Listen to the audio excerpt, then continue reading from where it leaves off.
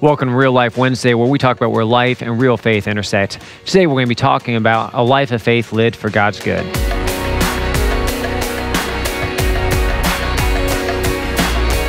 There's a story that is uh, told by many people better than me.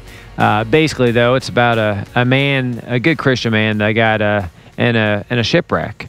And he was a sole survivor. He got washed up uh, alive on a uninhabited island.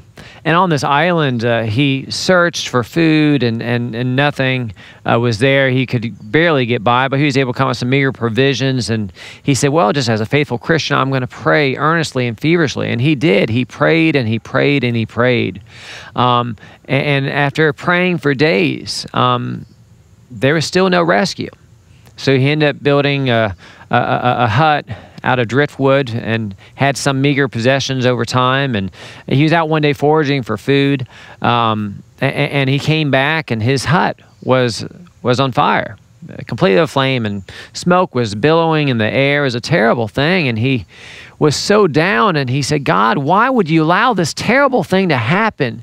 Every little thing I own, which is so little already because the shipwreck is was in that hut. Now I don't have any shelter. It's terrible.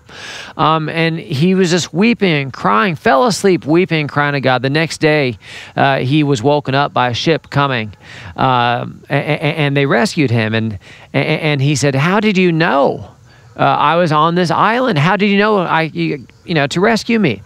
and, and they said well, we saw uh, your, your fire. We saw the, the smoke in the air, so we knew that you were in need. It says in Romans 8 28 these very important words. And we know that all things work together for the good of them that love God, who are called according to his purpose. All things work together for God's good, for God's glory, when we seek to follow him and his will. Doesn't always look like. And sometimes we wonder why there's this pain, why there's this heartache. But may we trust that in the end, it's all for his good. May we do just that. Amen and amen.